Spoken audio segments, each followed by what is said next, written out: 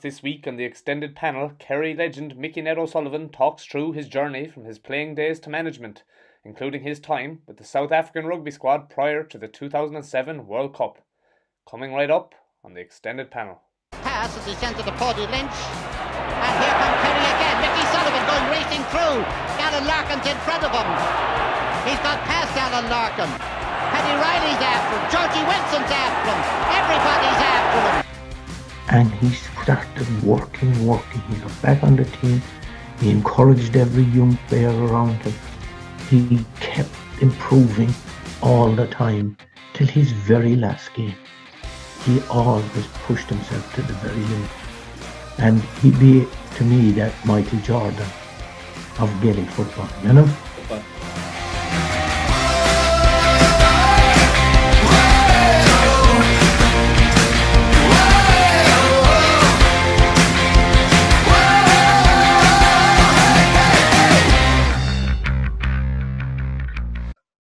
Very good evening and welcome to all the viewers and listeners to another brand new episode of the Extended Panel Sports Show brought to you in association with LíR Media with me, your host, Tadhg Ó Siochrú. Joining us on this evening's episode, we have Kerry legend Mickey Ned O'Sullivan, who will be talking all things football, sport, and coaching. Good evening, Mickey. Good evening, Ty. Great, great to be here. Yes, great to have you on the show. And uh, also joining me this afternoon, I have trusted friend and colleague of the extended panel, Jimmy Meaghar. Jimmy, how are you keeping? Hi, Shucks. Uh, how are things? Uh, delighted to have the opportunity to speak with Mickey today, and, and, it's a massive honour for us to have him on the show. He he brings a wealth of experience, and it's a fantastic opportunity for us to get an insight into his career as a as a player and, and in management as well. You know. Mm. Well, Mickey, it's, it's great to have you. How, how how are you keeping anyway? How have you found the unprecedented times and stuff? You've kept yourself sane. Well, I suppose the fact that I, I am I had been retired, I, I, I had plenty of practice. so it was no it was no big deal and enjoy it. And uh, kept busy and we're very fortunate the weather has been so good. If if it started in october and went into november december january people would have really felt the pressure but apart from that it was excellent. Yeah 100% and mickey we saw you on uh, rt news the other evening talking about the roadmap for a, a return of the GAA and, and, the positive effect that that'll have on, on, people in your own area.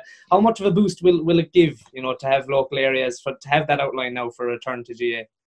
Well, I suppose, as I said, that um, I suppose the is, is part and parcel of the social fabric of every rural community, and it was, you know, the lockdown uh, deprived people of their expression, but now opening it up with a with with a plan.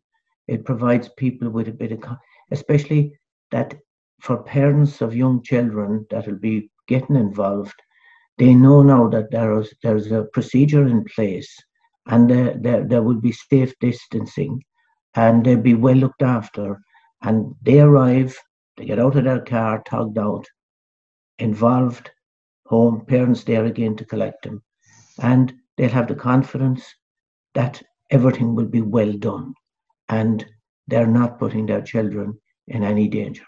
Mm. And hearing you speak, Mickey, there, your your local area, um, it's it's obvious you have great pride of Kenmare, where you're from, uh, where you were brought up, and um, I suppose we'd say, could you give us an insight into the your your background within the GAA growing up in Kenmare? Well, I suppose, like in all rural communities, GAA was very central but the club was very much a, a hurling club in the in the 60s and um, I suppose in the towards the middle to the late 60s there was a guard restationed to Kenmare called PJ McIntyre. And he started football really even though football had been there all along but he, he organized it he structured underage and got us all interested. And from there it grew. And um, it was a dual club, hurling and football. So we played both. Mm. And uh, obviously, being in Kerry, uh, ambition was to play for Kerry in football always, uh, the ambition of most young lads. So I was no different. Jimmy, Jimmy, there is delighted anyway to hear you talking about hurling anyway, because that's that's his strong point and being a Kilkenny man. Uh, from you're from Kenmare yourself, Mickey, but you, you didn't go to school there. You you ended up teaching in Ballyvourney, but you played there as well. I'm sure you had some some great memories playing Corn Uí Mhuirí and football in, in school in second level. Yes, yes. We, I went to boarding school in Coláiste Íosagáin in Ballyvourney, as was and again football there was a, was a, re, second religion, mm. and. Uh, we were very fortunate that we had uh, brothers, De La Salle brothers, that took a great interest in coaching of football. And then you had the great ingredients who have a mixture of Cork and Kerry and of from the of students. Great banter, great opposition, and and it was about 60 40, I'd say, percentage wise. So we were in the heart of football from the word go. Mm. And I suppose in my five years there, we competed in four Corn Uí Mhuirí finals. I played in the four of them. There was two replays, but we lost every final. And Críost Rí and St. Brendan's beat us on three occasions. And both occasions they went on and won the, the Hogan Cup. Was disappointing from that point of view and to add injury, insult to injury, the year I left, they won the Corn Uí Mhuirí. um, I was a, I wasn't a good omen. I but it, it it was a it, it was a, a great nursery for Gaelic football, mm. and nothing else mattered but Gaelic football there. So it was a great um, training ground to have. Mm. And you, you get that opportunity, Mickey, in school to to play with some good teams. And when you go back to the club, you you know if you're lucky enough in your time to win something with your club, you know you get to play with some great players, and you get an opportunity then if you are lucky to, to win something. You won three intermediate titles and a Kenmare District County Championship. Great memories along the way, and you know some great football and names involved in those teams with you. Yes, uh, I was very fortunate that it, it it's all about being in the right place at the right time. When the club was growing, and we won it three uh, Towns Cup and three intermediate championships, and then probably the pinnacle then was the was the, the county senior championship in uh, 1974, which was a combination of four clubs, Kenmare, Templenoe, to assist in Kilgarvan, and probably that was probably one of my most enjoyable experiences because you were playing with people you grew up with and you were achieving something that was never achieved before. And it was it was it was great. It really put Kenmare on the map on a football point of view. And of course you were playing with the likes of Pat Spillane was just coming Mick Spillane. They were all very young at the time but it it and then you had lads that were shoving on a bit uh, as well. So it was a combination of, of youth and experience. Mm. But it was, again, the community involvement. Everybody bought into it. Everybody in the locality was part and part and parcel of the of the whole thing. So it was it was probably my most um, enjoyable experience in Gaelic football mm. as a player. And just mm. in going going from the amazing success you had at club level there and at district level and, and, and the fan memory, you might just talk us through, Mickey, that transition then into the green and yellow jersey, you know, being called first, I suppose, into the Kerry Minors. And then you were involved, I think, with the seniors and the 21s in the same year. I suppose it's always something, as you mentioned earlier, that you're dreaming about growing up is, is playing for Kerry. Yes, um, we were, again, it is interesting, we played in the, mine we, we, we got to the All Ireland Minor in 1970, Kerry. I, I was playing on the Kerry minor team.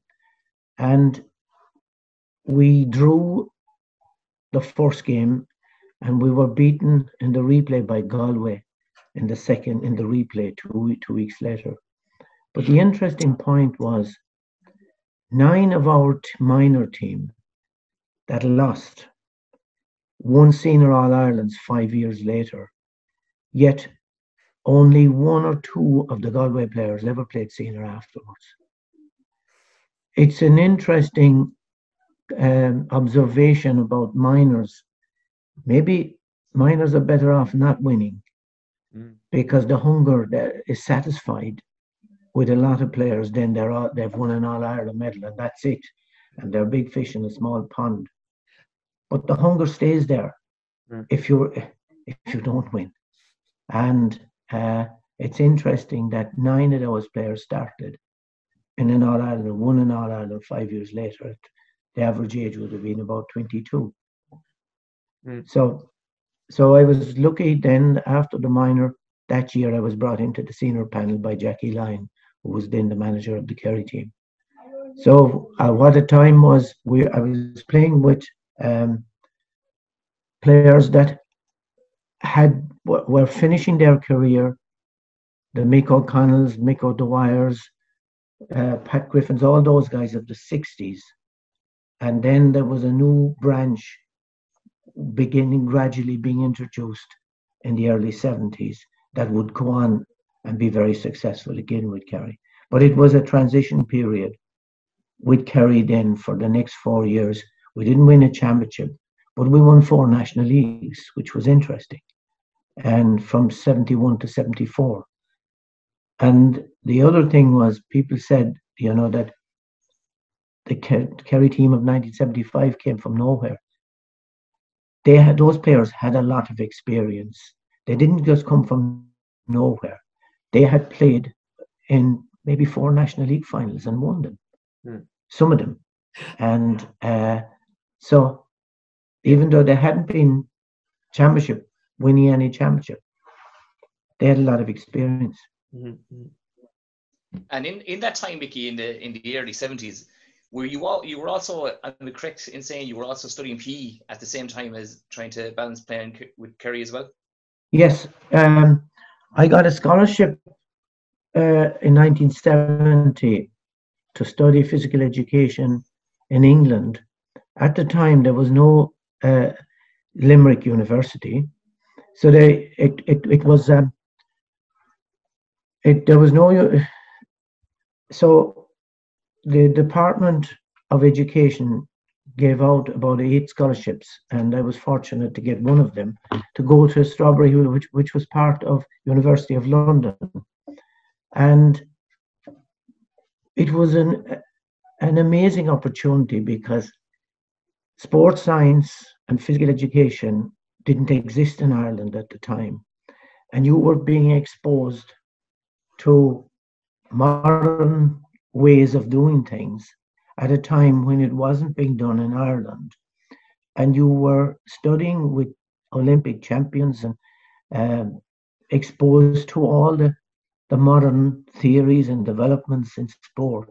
So it was a great time, as well as the whole educational opportunity of uh, interacting with people from different cultures it was a big cultural shock to go from a, an Irish speaking boarding school in the Gaeltacht of West Cork to the middle of London, mm. in part of the University of London. And but it was, a, it was so stimulating and, enjoy, and enjoyable.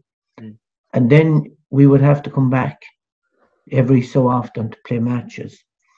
It was difficult because you had you had no training. You trained on your own, and you probably I played rugby, but there was it was a different game, and you had to come back in the weekends then and play a match without any uh, proper training. But um, it was it was exciting to have that different perspective, but but interesting. And and Mickey, in that time, would any of the Kerry management teams have tapped into the knowledge you were gaining over in, in, in London? Um, uh, in I suppose the players themselves were very interested.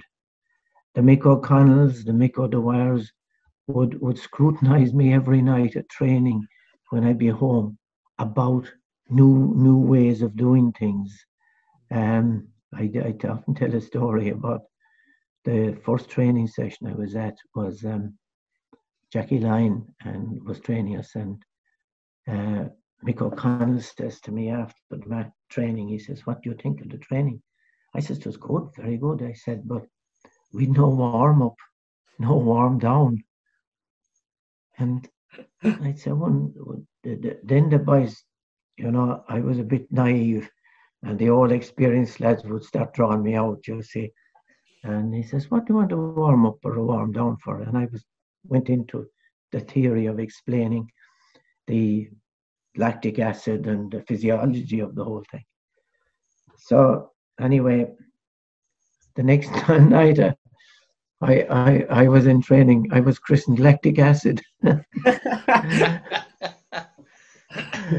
but um, it, it it it it began to seep. But I remember in I was captain of the under 21s in 1973, and Johnny Welsh, who was a former Kerry footballer uh, of the 30s and 40s, was managing the team. So he used to ask me to take the training sessions because I suppose that time football was different, management was different. It was all about, there was no coaching really. It was physical activity, it was physical training. So I used to take the training, and we actually won the All Ireland that year. And but the difference that time, probably I'm preempting what you're going to talk about, but it management that time was the manager was chief cook and bottle washer. He did everything. He put out the, the flags and the cones and he washed the jerseys and he did everything. And it was a one man show basically, even though he had selectors, it was a one man show. And it was only physical activity, uh, physical training. There was very little coaching. Now the whole thing, the concept has changed enormously. But that time, just to answer your question, I was asked, I used to be asked to take training sessions because they perceived that I knew something about it. Mm.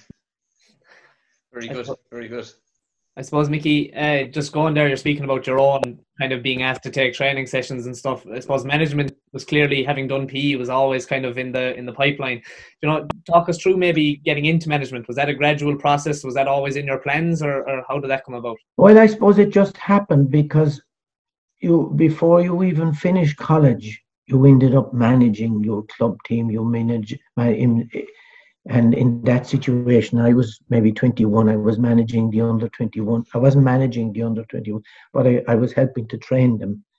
And it was expected of you that you knew what it was all about.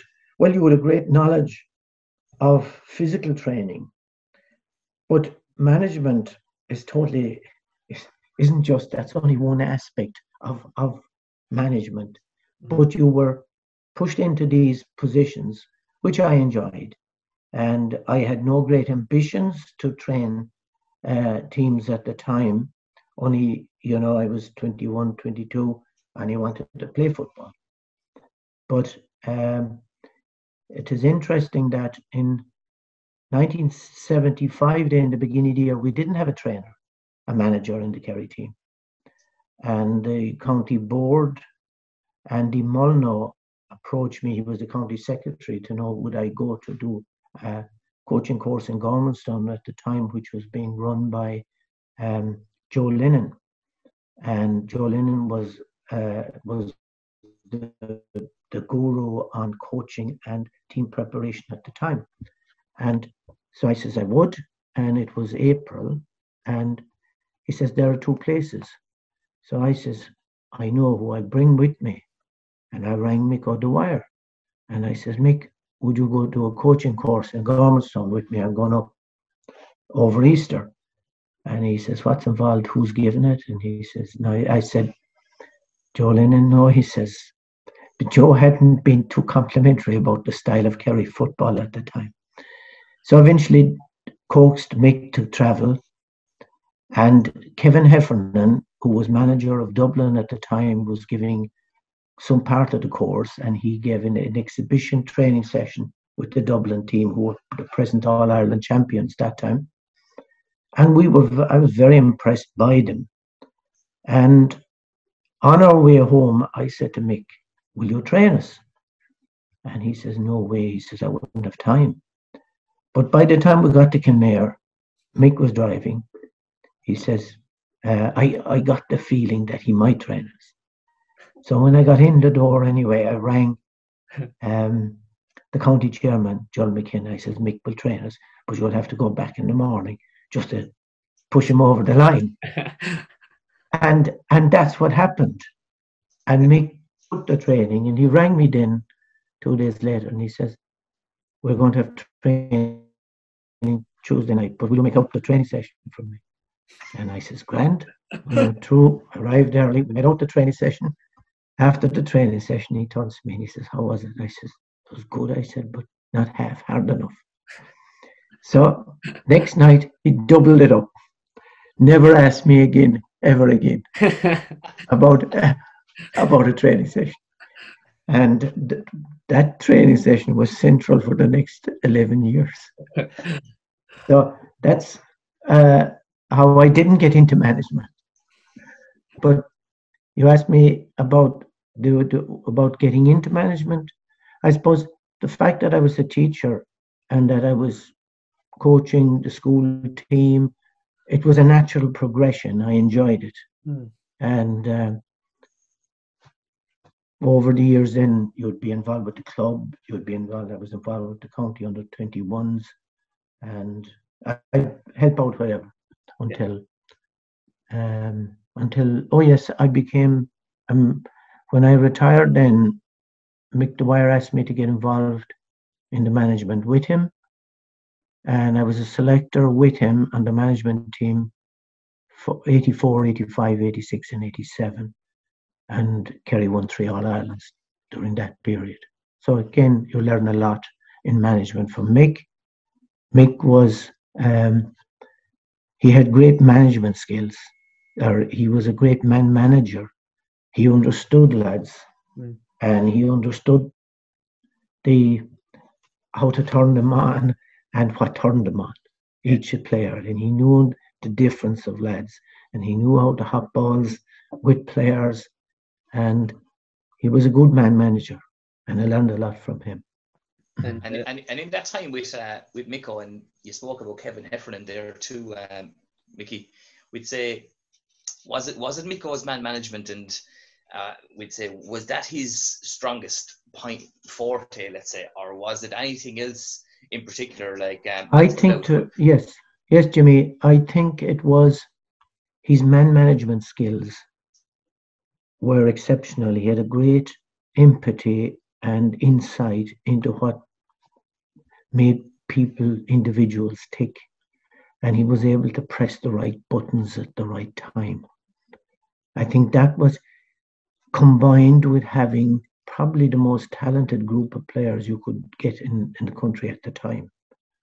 So it was a combination of both, but it was his man, and also he led by example. He was very disciplined in himself, and um, and focused.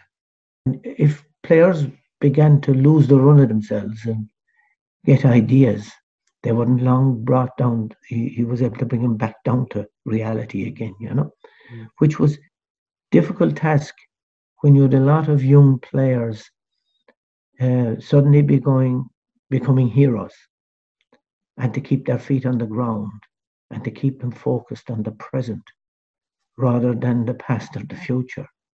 So he was a good, he was able to keep his finger on the pulse all the time. And that was his strength. More from Mickey Ned coming up in part two. Stay with us.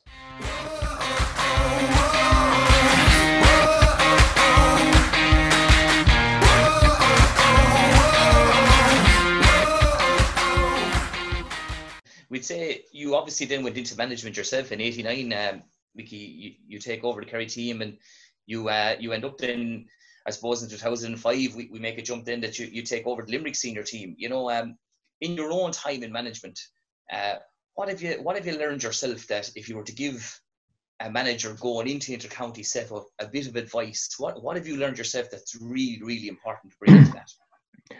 What I would think is number one, it's your management team you get the best person that is in charge of, of that you will empower them then to do the physical preparation.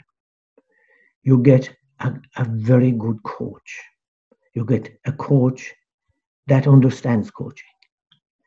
And if you're not good on the mental side, you would bring in somebody who was I I always preferred to do it myself because I had a great interest in sports psychology going back. I studied it in the 70s and I kept abreast of it all the time. But I think that aspect of it is very important. But it, management is not about the manager, it's about empowering, getting the best possible management team in place, and then standing back and not micromanaging, but getting the best out of each member of the management team. And ego must not come into it. And you must know when to stand back and let the people who are know their stuff. Now, in Limerick, I was very, very, very, very fortunate. I had uh, Donny Buckley as coach, and I stood back because I knew Donny knew much more than I did. I had Cian O'Neill in charge of physical preparation. I knew Cian knew far more than I did. So I stood back. I had Michael McGeehan, who is now the coach with Tipperary, not a coach, equally as good. And I'd say the, the county board in Limerick were saying, we could get rid of this Mickey Ned because he does nothing. and and but ultimately, and it's difficult at times to stand back and and just leave, leave the people who you empower the people who are experts in their field and your job as a manager is creating the environment where, where players can grow and nurture and develop and provide the best possible facilities uh, and personnel for that to take place. Mm. That's the advice I would give anyone going into management is basically it's it's not about you. It's about what you can provide for players to allow them grow and develop to their max. So yeah, uh, just I was going to bring it back just b- before, let's say you took over Limerick in 2005. Uh, you took charge of the underdogs in its debut season in 2004 uh, and beating the reigning All Ireland champions, your own Kerry. You might just take us back to your talking there about you know getting the best out of your management team and getting the best out of players. The preparation that went into that journey to lead to a success like that one that night in Tralee. Well, uh, well, again, uh, we're fortunate that we had uh, in the management team, you had Brian Mullins and you had Jarlath Burns and Mícheál Ó Muircheartaigh, people that that really understood football. But that time it was difficult because you had to have players that had never played at any level with with their county, minor under 21 or senior, which was almost impossible, you know, to get players to that level in such a short space of time.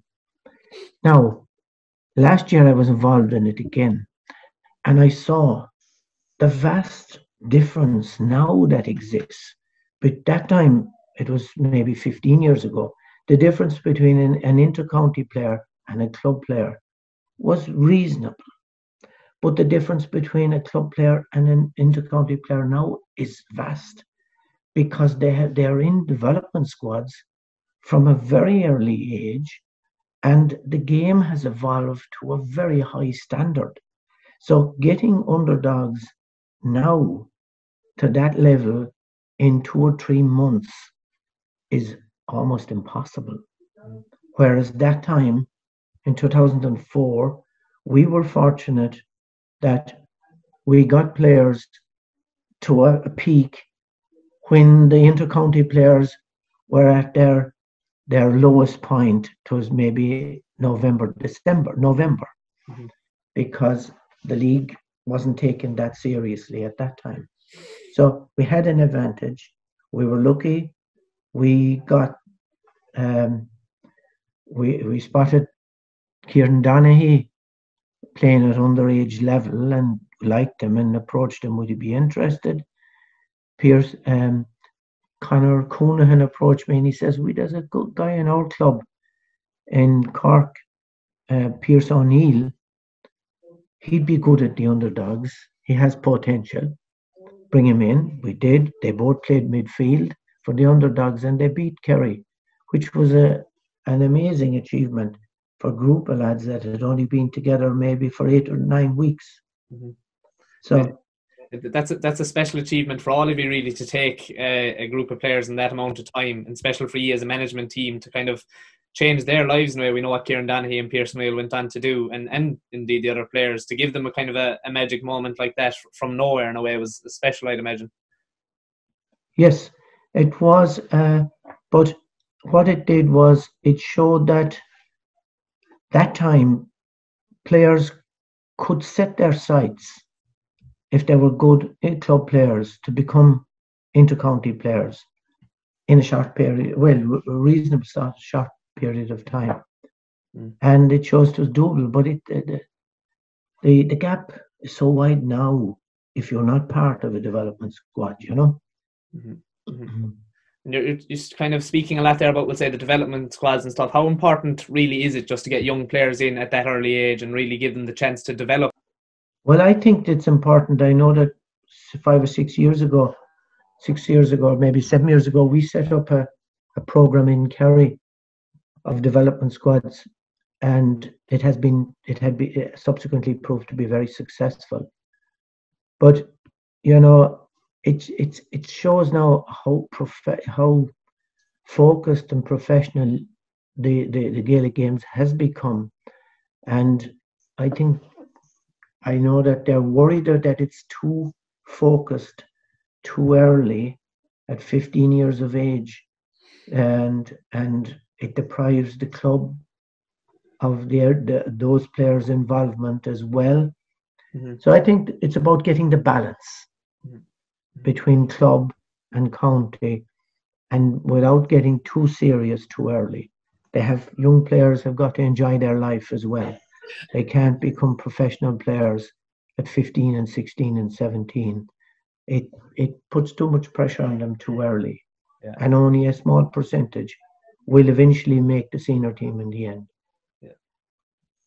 And Mickey, you speak there about the development squad you were you were, you were involved in. Can I just touch on the program that you were involved in uh, bringing to the Kerry County Board and to kind of implement within the squad structure within Kerry. Was that a program for coaches to follow? And was is there a template for coaches to follow? There, there, yes, there, there is a template, and there is a structure. And I was fortunate that I had was on the coaching council of Ireland at the time, and Michael McGeehan, who was CEO of Coaching Ireland, had set up a template for sport in general and the development on a national level, of various sports. And I, I, I got a lot of information from that and put a structure together that would be could be implemented. Gave that there was a, a group set up which included Eamon Fitzmaurice, Bomber Liston and John O'Keefe, Pat O'Shea, and all the lads that were involved at and we teased it out and came up with this structure.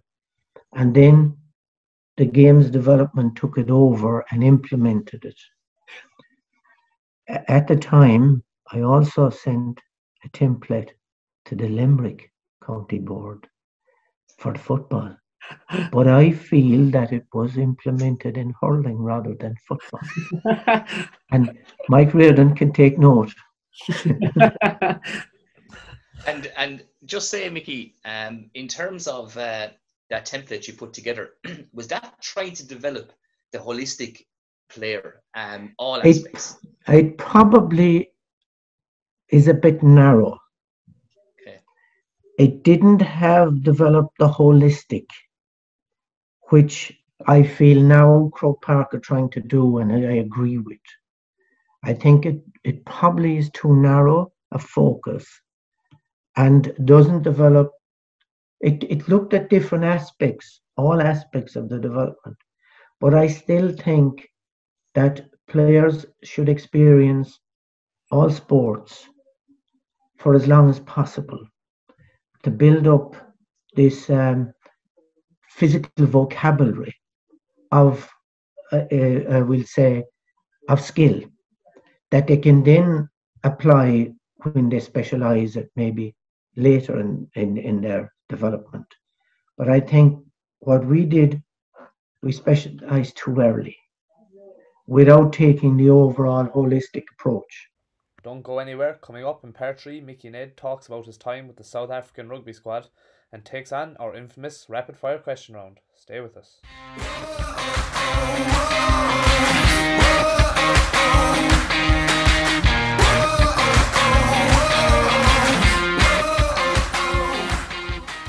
the connecting would say like the different skills from different you know different even sports and stuff like that mickey is that something you, you took from your time in working in south africa uh, i know i think was it the you were I read, I read an article about we'll say the um, kind of taking of skills from the different sports and transferring them together and that was something that the springbok coach was very into at the time that that is interesting because um, uh, i think it was 2005 uh, I got a call from Brendan Venter, who was one of the head coaches in South Africa at the time, to know would I be interested in. Well, the contact was made through Conor O'Shea, whose dad would have been a good friend of mine, Jerome, and to know if they, they had a theory that the transfer of, of, of skills from one game to another would be very important and they had identified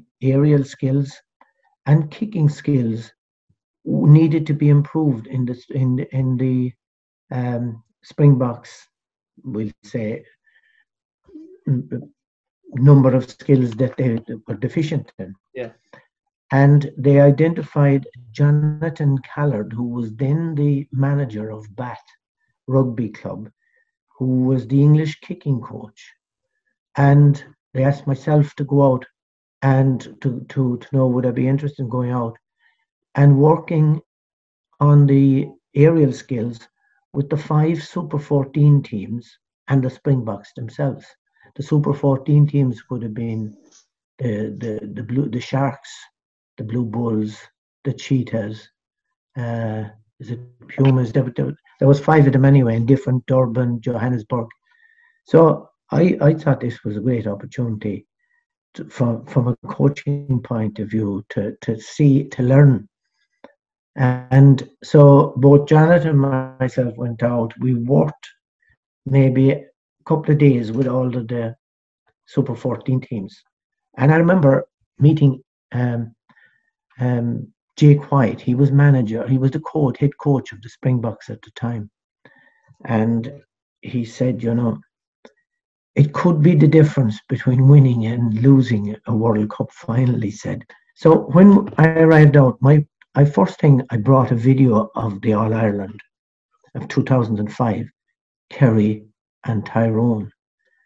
And I had zoomed in on Darragh O'Shea and some of the Tyrone guys.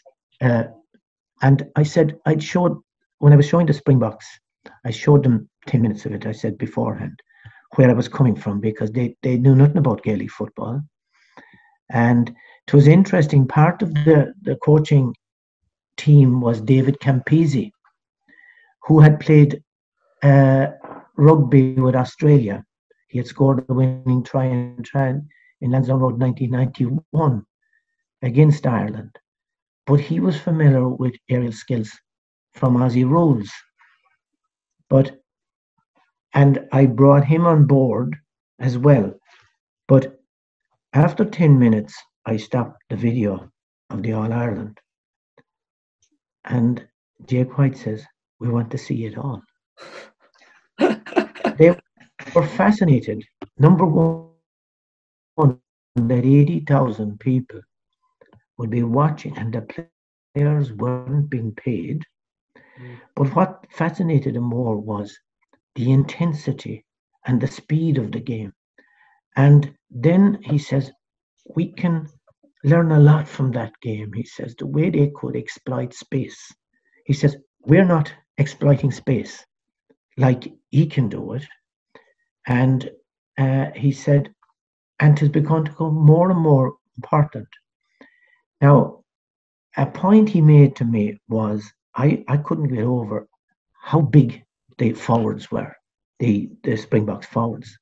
I hadn't seen men as big and as as forceful. Yeah. And yet they had very little aerial skills. It was just pure mass strength. Mm-hmm. So he said, Could you imagine if we develop skill in these guys? But I says, I asked him a question. How do, how come they were so big? The players, the, the forwards. And he says, about 200 years ago, when the Europeans came out to South Africa, they went into agriculture and they went out into the bush. And he says, only the biggest and the strongest survived. And he says, as a result, the gene pool, on average, is so many kgs greater than the average European.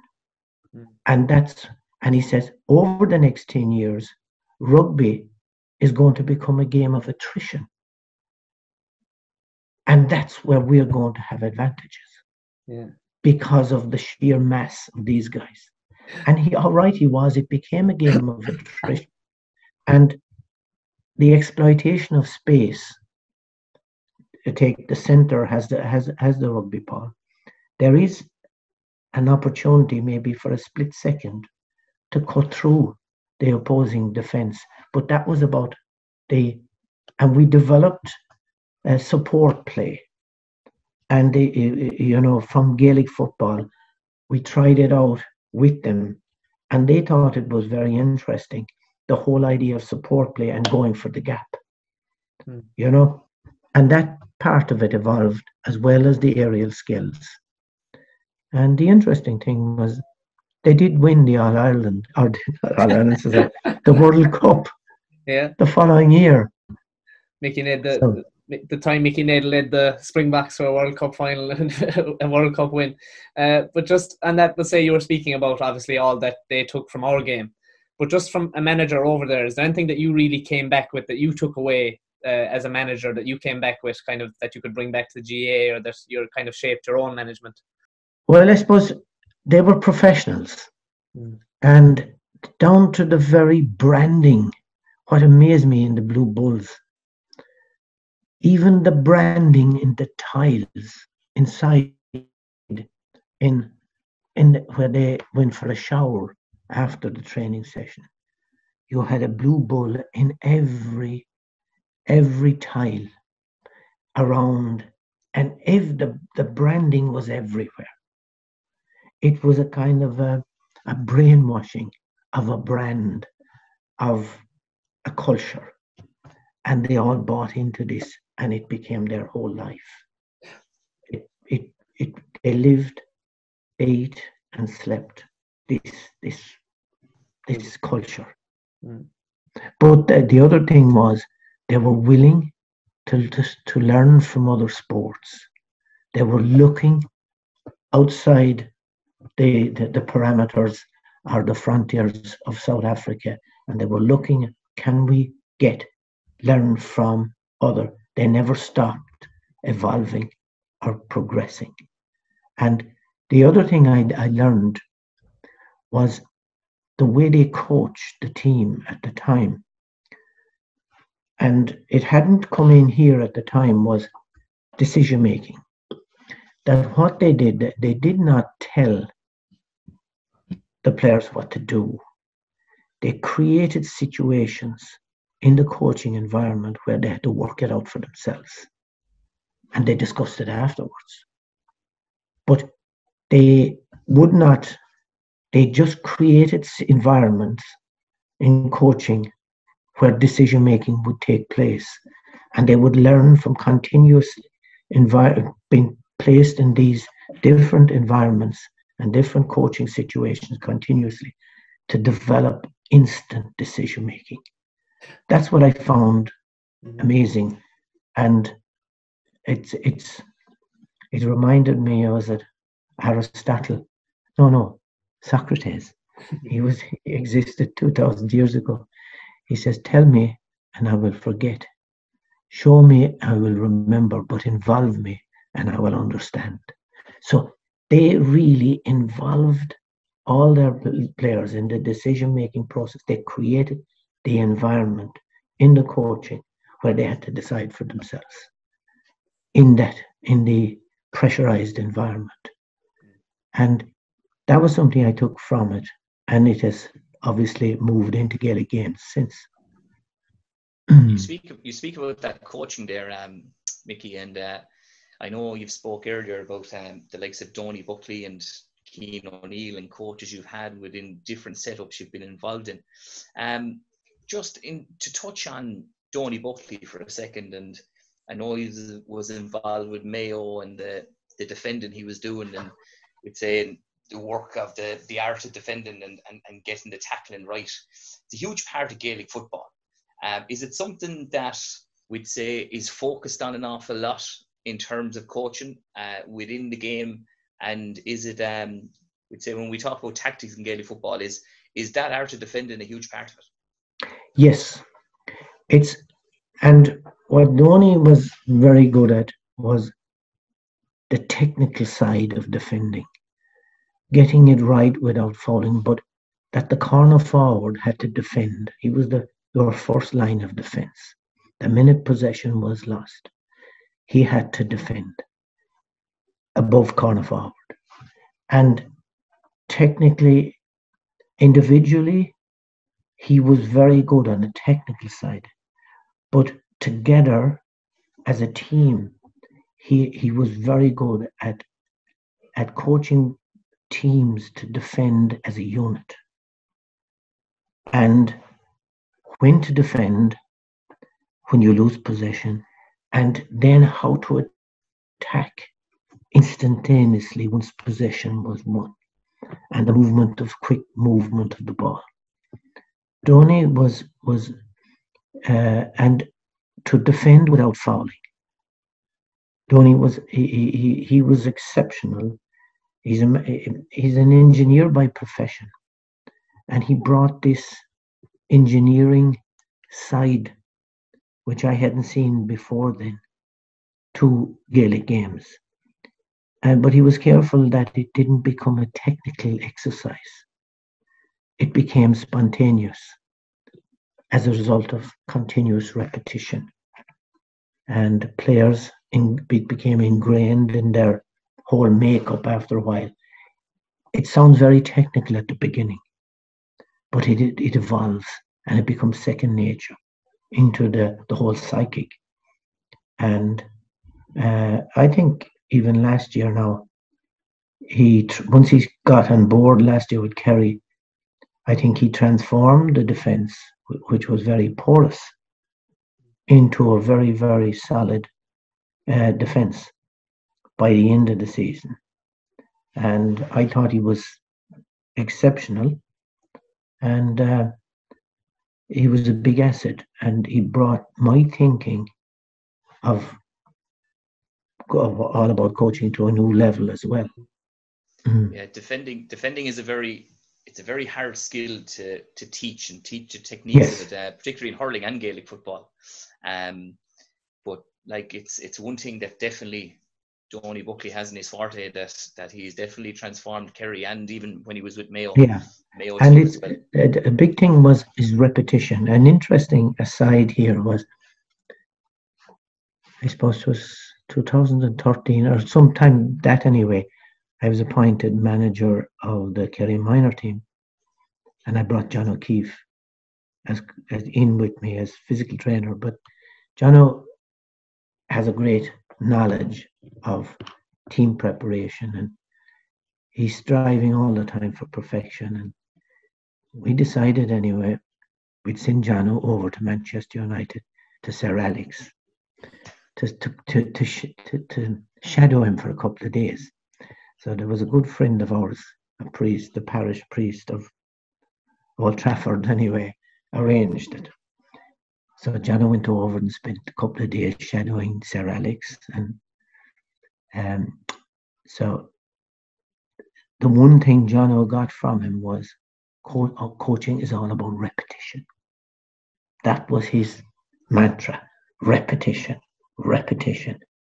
But um, and also they went to see an under eight game, and John says, "How how how how do you think you will know whether these eight year olds will play for Manchester United?"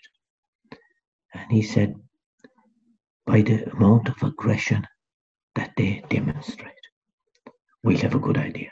So it'll be an interesting comment, but that goes back to um, repetition of, but I, I would go further.